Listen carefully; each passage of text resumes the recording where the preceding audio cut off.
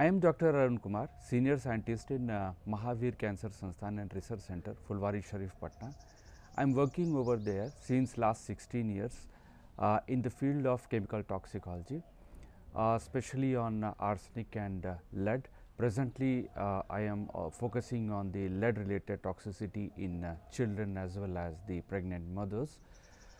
Uh, the PI of this uh, project is uh, Professor Ashok Kumar Ghosh. He is also the chairman of Bihar State Pollution Control Board.